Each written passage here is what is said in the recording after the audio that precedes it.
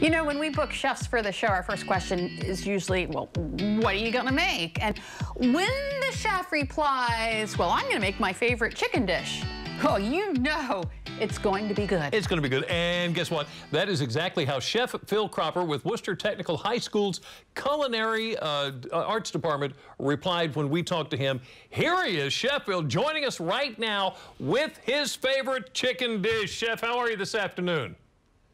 I'm great. How are you guys doing today? Thanks for talking to us. What are you making here? We're going to make chicken pistachio. So the first thing I'm going to do is take two boneless, skinless chicken breasts, and I'm going to season them with kosher salt and black pepper. And then I'm going to take my salt and pepper and mix it in with my flour. So I call this dirty flour because now it has salt and pepper mixed in. Oh, okay. That makes sense. So the chicken is going to go into the flour.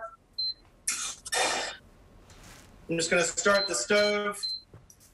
We're going to put a little bit of olive oil in a saute pan, and then I'm going to put a little bit of butter to melt because olive oil has a higher smoking point than butter.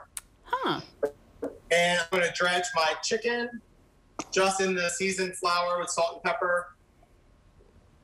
So you're not dredging it in eggs or anything to make a coating?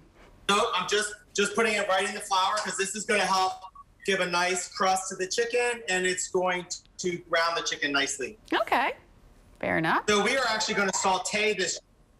So um, fun little education point here. Saute is French and it means to jump, which means when we put the chicken in the saute pan, we want the chicken to flutter or jump a little bit in the pan. And that's, that's how we know. Interesting. Had no idea. All right, so the chicken is in the pan. Ah. And we're just waiting for it to jump. yeah. So we're gonna we're gonna brown this chicken on both sides.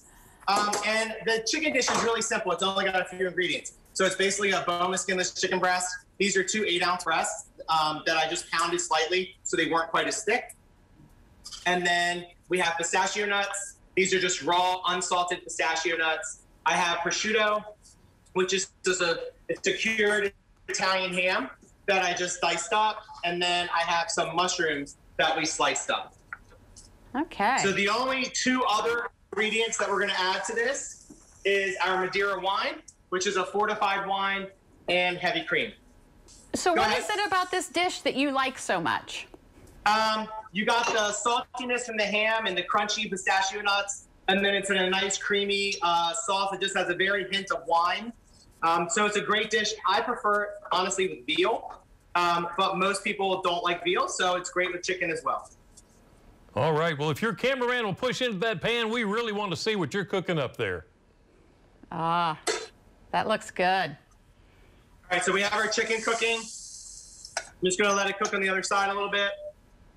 And then I'm going to add my pistachio nuts because I want the nuts to toast or roast a little bit in the pan because that's going to let all the natural oils in the nuts release. All right, so chef, as your cameraman pulls back out so we can see your face, how long do you do this? Uh, this chicken's going to take about five minutes or so to cook. You're just going to brown it on either side. Then we can take the chicken out of the pan, and once it's brown on either side, and